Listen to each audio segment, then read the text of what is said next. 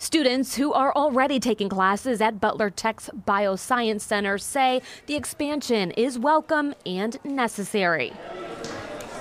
We needed more space. Basically, there's a lot of kids here, and each year we're accepting more students, so we kind of need more space, and so we needed bigger classrooms as well. The Bioscience Center opened five years ago and is already out of room. Today, the school revealed a new second floor addition with more than 4,600 square feet of learning space.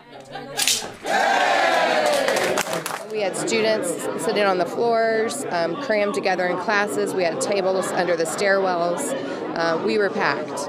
BSC principal Dr. Abby Cook says the medical field is booming and the demand continues to grow, especially here in southwest Ohio, where careers are always in demand. Enrollment at the school is skyrocketing. Uh, we've been here for five years and we have grown a third um, of our population in that time. And we were crammed for space, and our teachers and students and myself are thrilled to have space that we have grown into available for our students. We were, we were really packed. School leaders say this new second floor addition is just a taste of what's to come here at BSC. They already have plans to expand.